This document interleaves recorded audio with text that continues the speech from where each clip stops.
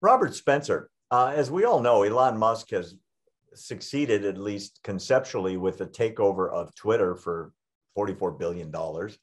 And by the audacity of his statement, it's going to be free speech, the left is going berserk because free speech to them is fascist, apparently. And the people leading the fight to boycott Twitter that are calling on corporations to cancel all advertising on Twitter are at the forefront of the campaign to boycott Israel. And they're known anti Semitic.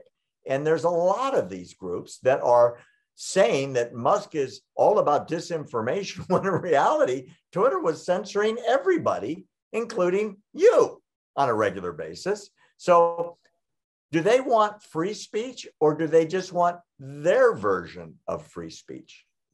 Yeah, for the left, free speech means they get to talk and we don't.